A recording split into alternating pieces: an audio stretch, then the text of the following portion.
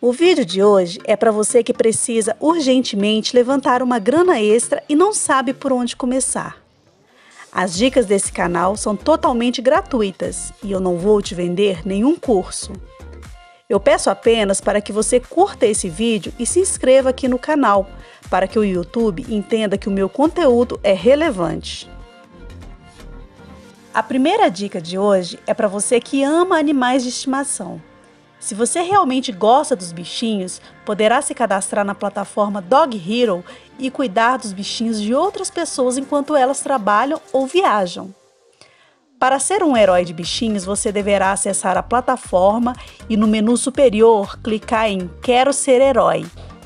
Então, você será direcionado a outra página que deverá escolher se você quer oferecer hospedagem, creche ou apenas passeio para os bichinhos.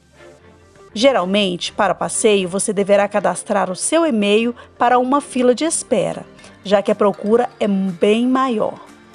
Já para hospedagem ou creche, basta você preencher o formulário e fornecer todas as informações solicitadas. Assim que seu cadastro for aprovado, você estará pronto para ser herói de bichinhos em sua região.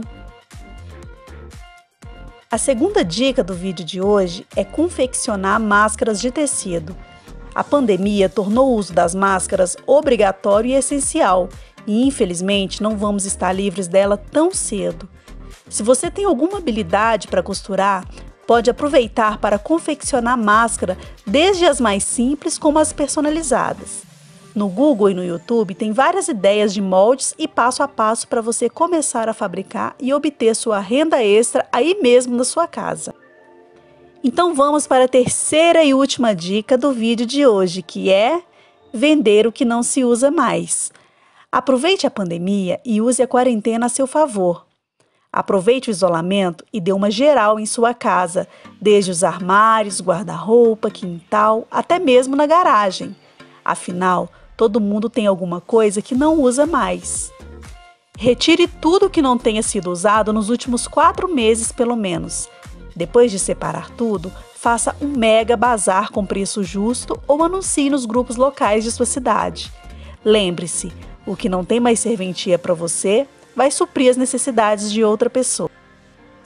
Então essas foram as dicas de hoje, pessoal. Um vídeo bem curtinho, mas feito com muito carinho para levar esperança aos que acham que tudo está perdido. Grande abraço, Deus abençoe a vida de vocês e até o próximo vídeo.